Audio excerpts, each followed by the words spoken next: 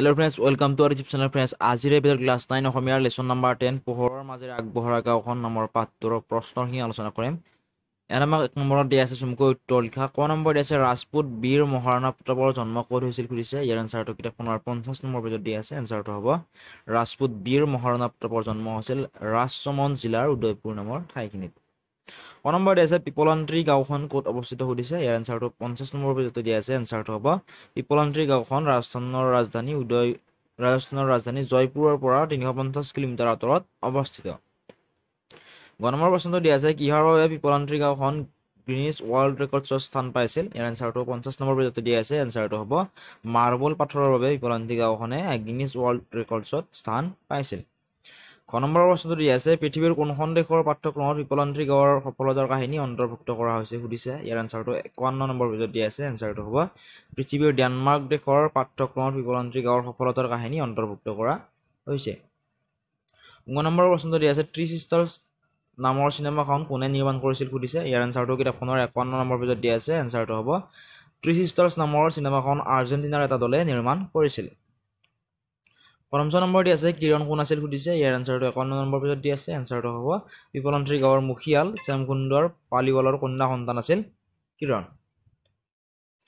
দ্বিতীয় নম্বৰ দি আছে ৰাশি বন্ধনৰ দিনা পিপলন্ত্ৰী গাঁৱৰ ছোৱালী আৰু মহিলাসকলে কি কৰে সুধিছে ইয়াৰ এনচাৰটো তেৱন্ন নম্বৰ পেজত দিয়া আছে এনচাৰটো হ'ব ৰাশি বন্ধনৰ দিনা পিপলন্ত্ৰী গাঁৱৰ ছোৱালী আৰু মহিলাসকলে গছত ৰছী বান্ধে।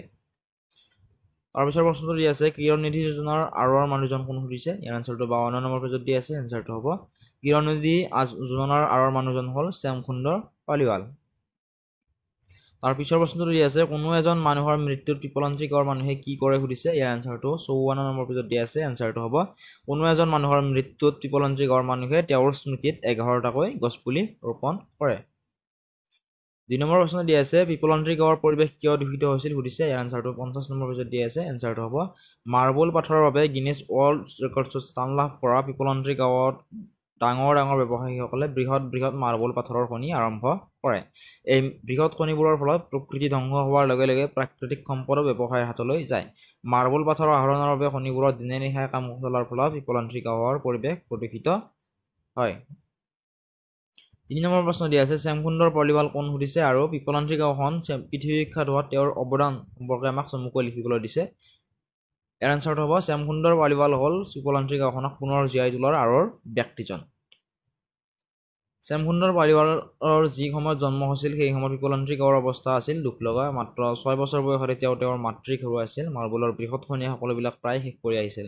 ভূগৰ্ভৰ পানী আঠশ ফুট তললৈ নামি গৈছিল। ইয়াৰ ফলত পিপলান্ত্ৰী গাঁৱৰ ৰাইজে সকলো আশা এৰি দিছিল। তাৰ পাছত দুহেজাৰ পাঁচ চনত শ্যামসুন্দৰ পালিৱালে গাঁওখনৰ মুখিয়ালৰ দায়িত্ব লাভ কৰে আৰু তাৰ পাছত এদিনাখনৰ এটা ঘটনাই সকলো সলনি কৰি পেলাইছিল।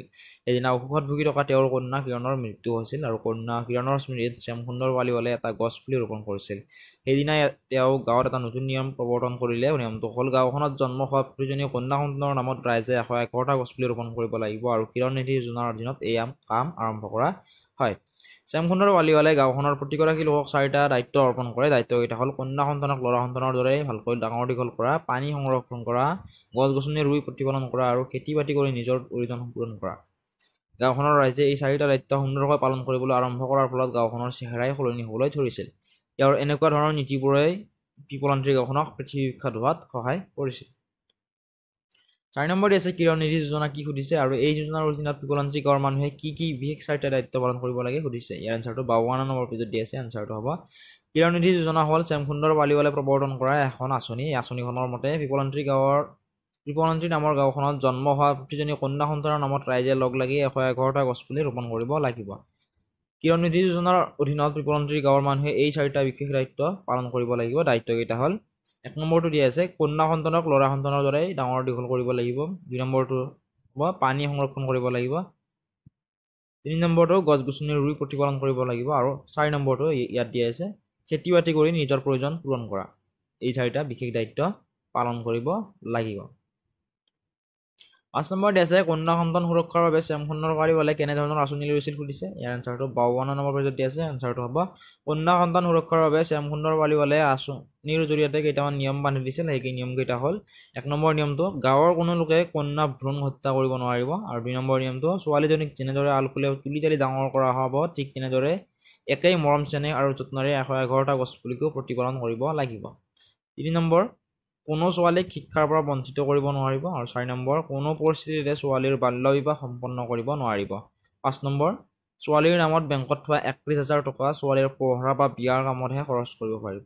আৰু শেষত ছোৱালীজনীৰ জন্মৰ সময়ত ৰোৱা গছপুলিবোৰ গাঁৱৰ সম্পত্তি হ'ব আৰু এখন ষ্টাম্প পেপাৰত এই নিয়মৰ চুক্তিত স্বাক্ষৰ কৰি প্ৰতিশ্ৰুতি দিবলগীয়া হৈছিল গাঁওখনৰ ৰাইজে।